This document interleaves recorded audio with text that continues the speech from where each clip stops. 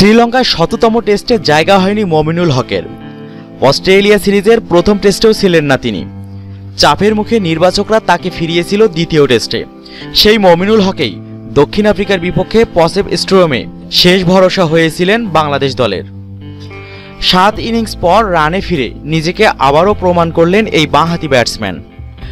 দক্ষিণ আফ্রিকার বিপক্ষে সিরিজের প্রথম টেস্টের প্রথম ইনিংসে স্বাগতিকদের দেয়া চারশো ছিয়ানব্বই রানের জবাবে ব্যাট করতে নেমে। দলীয় ষোলো রানের মাথায় ইমরুল কায়েস আউট হলে উইকেটে নামেন মমিনুল হক। আরও বিশ রান যোগ করতে আউট হন আরেক ওপেনার লিটন কুমার দাস পঁচিশ রানে। এরপর অধিনায়ক মুশফিকুর রহিমকে সঙ্গে নিয়ে সাতষট্টি রানের জুটি করেন বাংলাদেশের হয়ে কেরিয়ারের চব্বিশতম টেস্ট ম্যাচ খেলা এই ক্রিকেটার। মুশফিক ব্যক্তিগত চুয়াল্লিশ রানে আউট হলেও এক প্রান্ত আগলে ছিলেন মমিনুল হক। এরপর তামিম ইকবালের সঙ্গে বড় ইনিংসের আভাস দিয়েও সুবিধা করতে পারেননি নিয়মিত ওপেনার তামিম ইকবাল। সেই ভারটা নিতে হয়েছে মমিনুলকেই। আর কোচ চান্দিকা হাতুড়ি সিংহে এবং নির্বাচকদের সকল অবহেলার জবাব দিয়ে তুলে নিয়েছিলেন নিজের কেরিয়ারের বারোতম হাফ সেঞ্চুরি।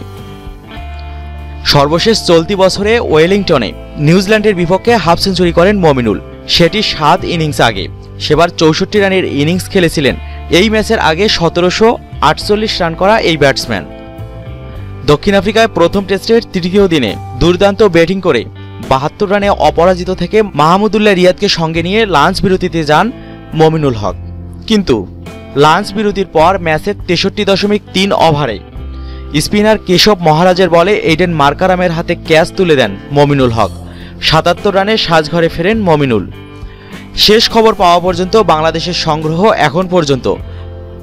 আটষট্টি দশমিক চার ওভারে পাঁচ উইকেট হারিয়ে দুশো বাহাত্তর রান।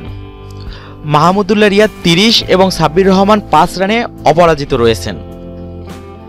অস্ট্রেলিয়ার বিপক্ষে মিরপুর টেস্টে মমিনুলের জায়গা হয়নি মূলত কোচ চান্দিকা হাতুরি সিংয়ের সিদ্ধান্তে। সেই তথ্য খুব বেশি ধামাচাপা দেওয়ার চেষ্টা করেনি নির্বাচকরা। জানানো হয় দক্ষিণ আফ্রিকা সফরের জন্য রাখা হয়েছে মমিনুলকে। ঘরের মাঠে নাকি দুর্বলতা রয়েছে তার। যদিও চাফের মুখে চট্টগ্রাম টেস্টে জায়গা হয় তার। সেখানে দুই ইনিংসে যথাক্রমে একত্রিশ এবং উনত্রিশ রান করেন। দক্ষিণ আফ্রিকায় আবারও স্বরূপে ফেরেন বাংলাদেশ ক্রিকেট দলের টেস্ট স্পেশালিস্ট খ্যাত মমিনুল।